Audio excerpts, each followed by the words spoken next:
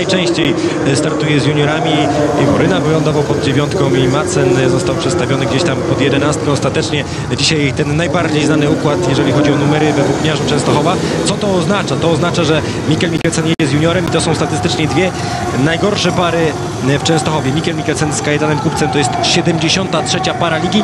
Mikkel Mikkelsen z Franciszkiem Karczewskim, który dzisiaj jest na rezerwie, to jest 79 para ligi. E, średnio w tych biegach Włókniarz zdobywa niecałe 2,5 punkta. Brzmi jak wyniki reprezentacji Kazachstanu w kwalifikacjach do konkursu skoków narciarskich. 25 sekund do startu, no patrzymy, bo może to są słabe pary, ale tak jak mówię, Mikkelsen na dystansie zafundował nam wielkie emocje. Robert Lambert jeszcze dziś niepokonany, a na, na dokładkę e, Paweł Przedpełski i Kajetan No i zobaczymy, czy ten wyskok Pawła Przedpełskiego taki jednorazowy, czy to już przejaw jakiejś lepszej dyspozycji spasowania dzisiaj z motoareną. Lambert, Kupiec, Przedpełski, Mikkelsen, jedziemy znakomicie. Lambert miał jeszcze czas się obejrzeć, zobaczył znakomicie jak Przedpełski wygrywa moment startowy, ale potem na to się zapowiadało.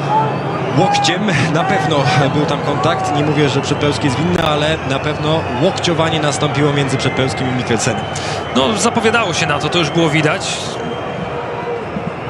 Trzecie i czwarte pole startowe e, szli łeb łeb bardzo równo.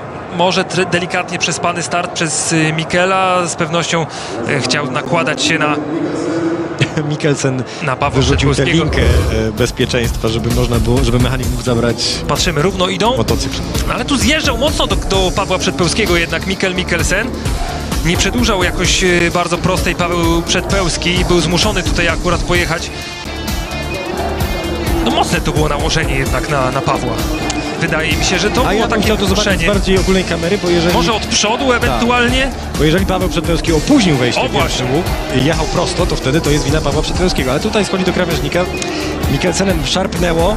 No to takie bardzo mocne, mocne nałożenie się na, na Pawła i wydaje mi się, że mógł dalej jechać Mikkel. Dlaczego nie? Z naszej perspektywy ze startu wyglądało to jakby Paweł jechał za długo prosto, bo jednak trochę po lewej stronie miał miejsca, patrząc na to, gdzie był e, Kajetan Kupiec. Z drugiej strony Mikkelsen względem swojego pola startowego mocno przyciął do krawężnika. No tak, tak i można powiedzieć, że tak no zaczął taranować